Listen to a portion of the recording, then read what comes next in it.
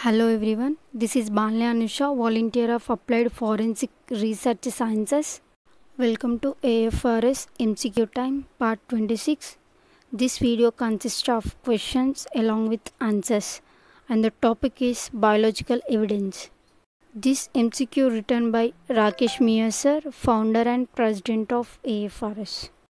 And now the question is Benzodiazepine test is also known as option A Guaiacum test and option B. Kastle-Meyer's test option C. Rudolph Adler test and option D. Luminol spray test. And the answer is Rudolph Adler test.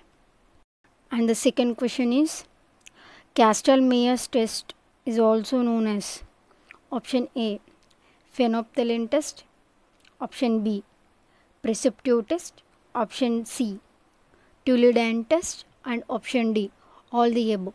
And the answer is phenolphthalein test.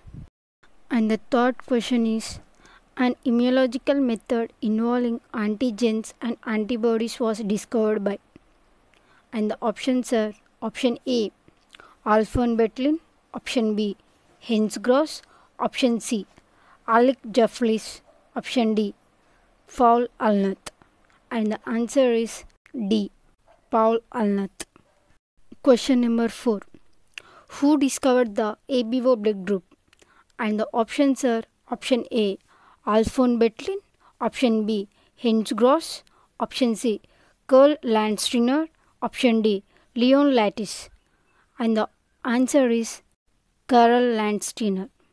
Question number 5 Blood strains are classified into how many basic types? And the options are option A 4, option B 6, option C 2 and option D 3 and the answer is 3 and next sixth question is full form of RSID and the options are option A rapid strength identification option B rapid stain identification option C both A and B are correct and option D none of the above. And the answer is rapid stain of identification. Seventh question Who used restriction fragment length polymorphism RFLP to analyze DNA? And the options are option A Hans Gross, option B Karl Landsteiner, option C Leon Lattes, and option D Alec Jeffreys.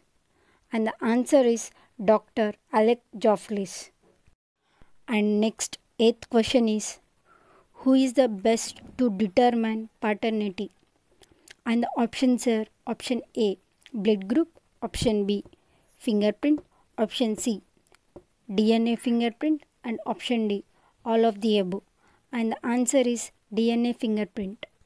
And let us go to ninth question. And the question is Species identification is done by Options are option A. Benzidine test, option B. Precipitin test, option C. Combo test and option D spectroscopy. And the answer is Precipitin test. And let's go to 10th question. And the question is which method is used to analyze all blood stain? And the options are option A Quackenbos test, option B benzidine test, option C spectroscopy test and option D absorption elution test. And the answer is absorption elution test. Thank you